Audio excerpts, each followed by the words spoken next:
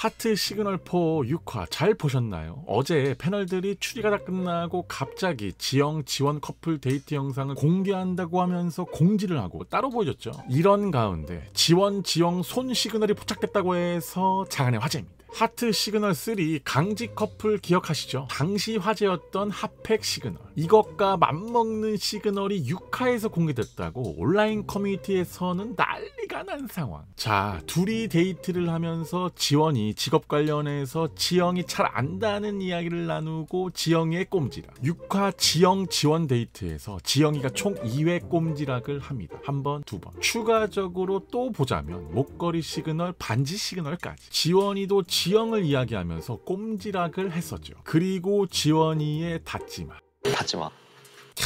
지린다. 그리고 지원 지영 데이트 때 나왔던 브금 기억하시죠? 노래 제목은 Jasmine Thompson and Calum Scott. Love is just a word. 가사 중에 이 부분. 그런데 그대는 잘 붙잡았고 난 그대를 붙잡았네. 애니에서 붙잡고 단 한 번의 용기. 와 진짜 이 스포 맞는 거야? 현재 댓글 반응은 애니에서도 손잡는 거 나오네. 덜덜덜덜. 애니에서도 손잡는 게 있네. 지원이 등장신 브금 트리거 가사 내용이 모든 걸 바쳐서 싸우겠다는 내용이더라. 추락하는 지원을 지영이 잡아주게. 얘네 은근 뭐가 많다니까. 지원이 불나방 엔딩. 최종 장소에서 손잡나봐. 100%뭐 흘리는 건 맞을걸. 작진이 의미 없이 하진 않음. 최커 될 듯. 최커 거. 최커 기억. 반박 시 당신의 말이 맞아요.